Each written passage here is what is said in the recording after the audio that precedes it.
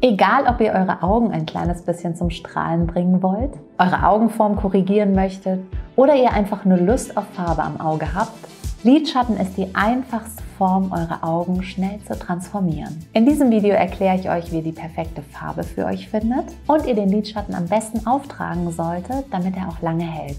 Die Farbe könnt ihr super nach eurer Augenfarbe aussuchen.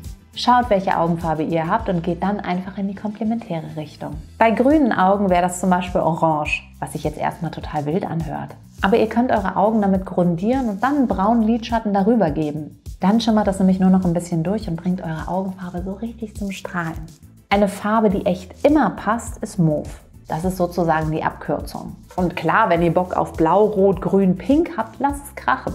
Da geht es ja dann eh um die Farbe und nicht darum, dass ihr einen stimmigen Look kreieren wollt, der eurem Auge schmeichelt. Auftragen könnt ihr den Lidschatten am besten so. Entfettet euer Augenlid und tupft einen Lidschattenprimer auf. Lasst ihn trocknen und wartet, bevor ihr eure Augen öffnet. Jetzt könnt ihr entweder den Lidschatten direkt auftragen oder ihr grundiert mit einem hellen Lidschatten. Bitte kein Fixing-Puder verwenden. Der verschließt euch nämlich alles und dann könnt ihr nicht mehr drauf schminken, weil der Primer nichts mehr annimmt.